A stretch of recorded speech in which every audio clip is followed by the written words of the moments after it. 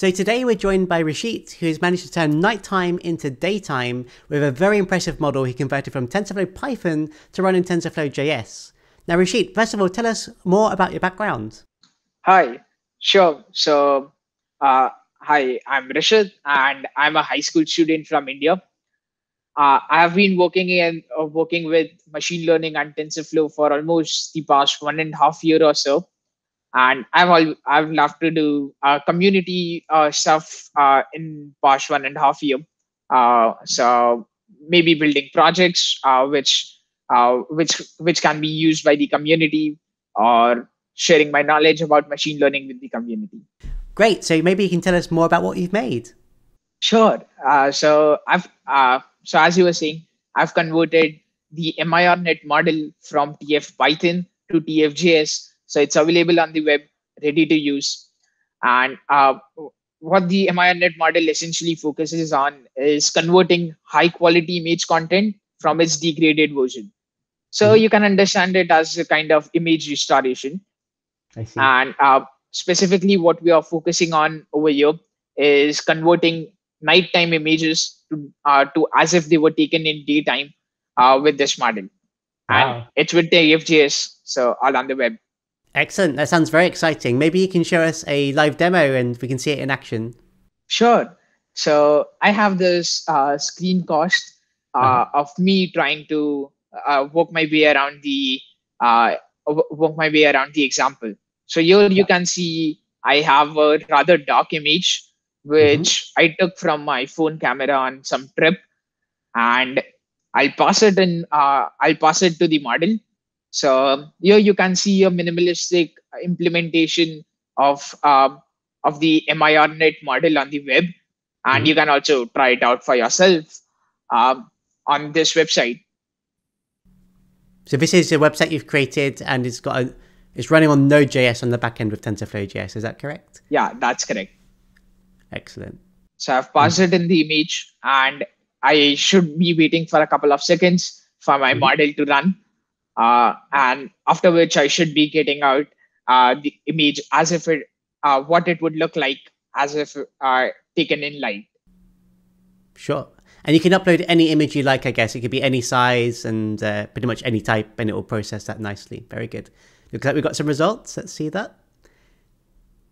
Awesome. So yeah, we can see a lot of detail in that image compared to the first one that we uploaded. You can see all the uh, the surroundings and all this, which is really, really interesting to see. Actually, that that's super cool. It's like a, having a superpower in the browser to enhance your vision, which is very, very interesting.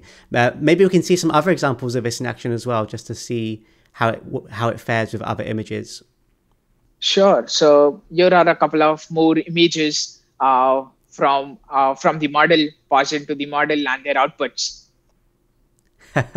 you can see SpongeBob there, and uh, it's impressive. We couldn't even see anything before, um, so that's a real big improvement versus the image prior to that. And let's see how this one does. I can't even tell what this is myself, and ah, it's a tent in the desert or something. That's yeah, that's a real huge difference uh, before and after. Amazing, cool. So those are really awesome demos, and um, can maybe can explain a bit more about the architecture of this model and how it might compare to other existing uh, models out there. Sure. Uh, so the architecture we use in this, uh, is, the model we use in this is called the MIRNet model. Um, and if in case you want to explore more about the model in detail, I'll not go into details over here. But in case you want to explore more about the model and how it is being built uh, from scratch, you could take a look at the research paper from which uh, this is implemented. Mm-hmm. So, uh, majorly, what uh, this model allows you to do in comparison to the existing CNN based methods, uh, which allow you to do image super resolution, is uh, usually the CNN based methods uh, operate either on full resolution or on progressively low, low resolution um, uh, representations. So mm-hmm. you so with the CNN method, you get an image which is well, it's partially precise, but uh, but contextually less robust. So what this uh, architecture allows you to do is it allows you to create semantically reliable and uh, con- contextually robust uh, images as outputs, which is why you see such a, a great difference between uh, the two of those images and uh, specificity to the detail. So it actually preserves the structure better than others that are trying to, I guess, just enhance the colors and things. It tries to understand the content of the image to produce better results at the end somehow. Yeah, um, okay. yeah, that's right. It also introduces a couple of uh, uh, more uh, units in the architecture, which you could uh, take a look at uh, in the repository or uh, in the research paper too. Sounds good. Perfect. And was it particularly hard to convert the Python model to work in TensorFlow JS within Node?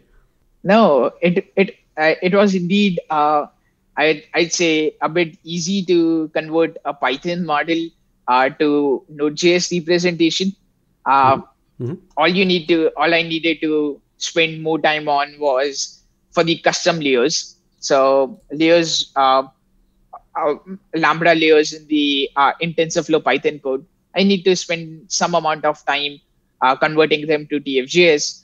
But other than that, it was indeed pretty easy to convert a TF Python model to TFJS uh, model. Awesome. And you also have awesome. wonderful docs for it. Totally. And we'll put those links in the uh, description of the video for anyone else interested. There's some cool tutorials out there which show you how to convert Python models as well. Now clearly performance is top of mind here and on Node.js the performance should be the same as TensorFlow Python as they share the same C++ backend which I believe is taking around 30 seconds for a large image to be processed right now, is that correct? Yeah, that is correct. Awesome. And uh, do you have any ideas or plans on how to make this maybe run faster in the future? Yeah, so as you mentioned, uh, performance is a heavy tool for this application. Uh, and is it is uh, majorly something we want to care about in this application since most of the applications uh, which image restoration enjoys or applications are, are tfjs models like these enjoy are maybe surveillance medical imaging or remote sensing just the three i can uh, think of at off the top of my mind and yeah, most of sure. these would uh, want you to have um, have real time inferences so uh, as of now, uh, the model isn't able to do real-time inferences. Takes pretty long. Uh, takes a huge toll on the performance. Uh, but I have a couple of plans uh, for it. So as uh, as Jason and I were discussing a couple of days ago, we were talking about sharding an image multiple pixels of the image, working, making the model perform inference on each of those pixels of the image parallelizing all of those inference processes and then somehow trying to reconstruct the image from all of these inferences.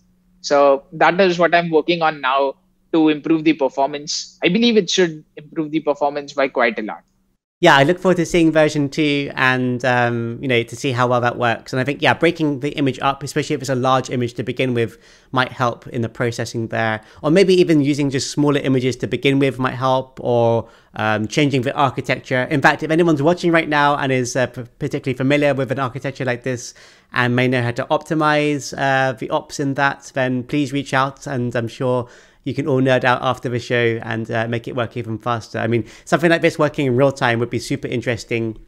Um, for real-time webcam lighting uh, c- correction and all this kind of stuff for many many different applications.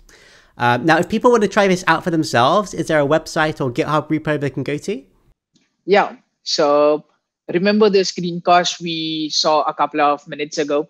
Mm-hmm. So that's a website available for you to try out just upload an image, wait for a couple of seconds. Might take a bit longer if a lot of people are trying it out at the same time. Uh, and get your output image right over there. But if you want to explore more about uh, more about this project, go into the specifics of it. Uh, the easiest way to do so is to go on the GitHub repo, and the website code is right over there. Uh, just clone the GitHub repo, run some npm install, npm start, and you are off and running with the website built on your local machine or just copy paste the commands from the docs. Excellent. Yeah, we'll put the links in the description after the show for everyone to find out. So I've got to ask, do you have any other models you try to convert from Python to TensorFlow JS or anything else you're looking into right now? Yeah, there's actually one. uh, I'm working on converting a model uh, which allows me to deblur images, or as you can understand, remove blurs from images. And I'm working on converting it from TF Python to TFJS so you can run it on the web available for everyone. Awesome. I look forward to seeing that one in, in uh, your next uh, show and tell. and uh, yeah, once again, thank you very much for being on the show today. It's been super awesome to see how you've made superpowers in the browser become available to everyone. And I look forward to talking to you soon. Same you. Thank you.